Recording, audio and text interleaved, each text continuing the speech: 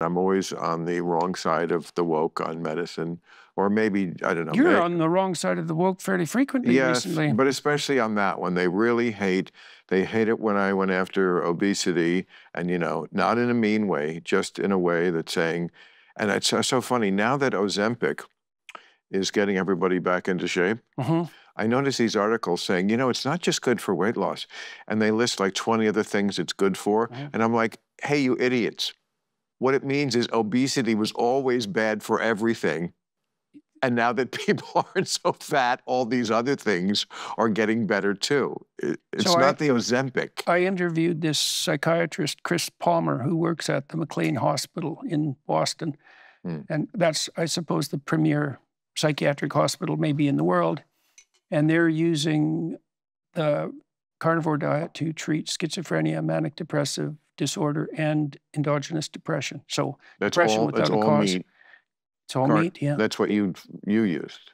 Yeah, and he's had remarkable success with it. Uh, and this is really something, right? Because those are very intractable conditions, especially schizophrenia. And I never did think that they were like psychological in origin. There's, they're so serious that it's very difficult to shake the suspicion that something has just gone seriously wrong, like physically, physiologically. And anyways, they're Yeah. having. I think he has. I think he told me that they're running 50 different studies examining the effect of diet on these serious mental disorders. So that's very exciting to watch. And again, this is one of those things, meat, that really shouldn't even have a political dimension because it's just science and the science is out. This is more evidence to me that, well, we don't know a lot of shit. This is always my one of my issues that they argue with me about medicine is that, you know, it's not an uncommon story to hear somebody say, yeah, I have some pain. They can't really figure out why.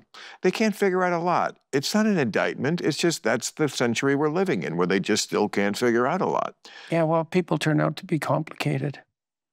And medicine is very complicated. Yes, that's for sure. And some things the medical profession do very well. They're very good at joint replacements, for example. They're good at many things. They're very good at, um, after they're being very bad at preventative medicine. Yeah. When you're right at the end of the line, swooping in at the last minute Yeah. with heroic yeah.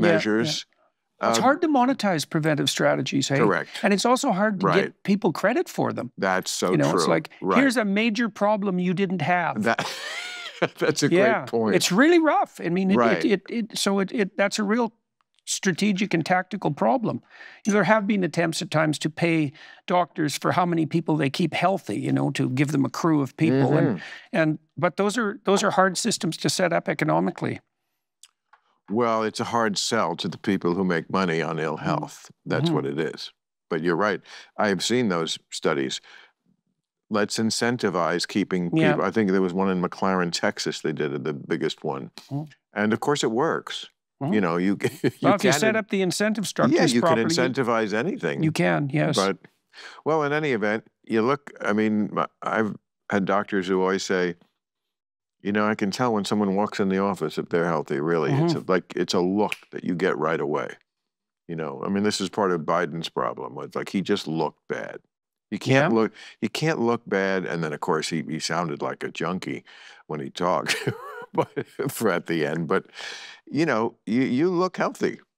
You Hooray. look hale. Hooray. And, and I know you have. Uh, uh, you're starting your own. Hey everyone, I'm on Substack now. Check it out and subscribe now at billmaher.substack.com. What could be simpler than that? My name, then dot, substack.com.